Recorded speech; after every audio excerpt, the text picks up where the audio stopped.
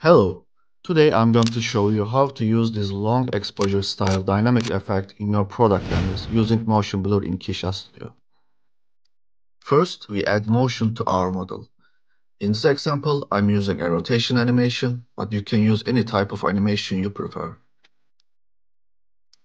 Next, we adjust the direction and duration of the animation. Make sure the motion ends at the exact angle or position you want your product to be shown.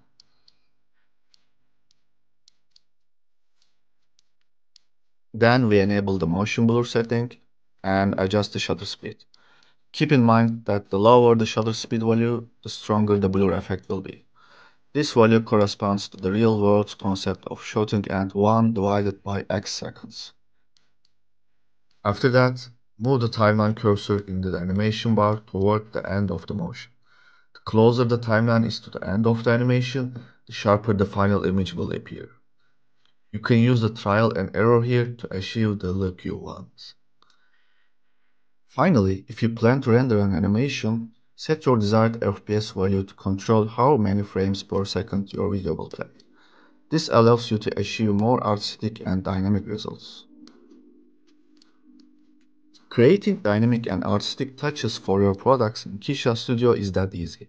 Thanks for watching and see you next time.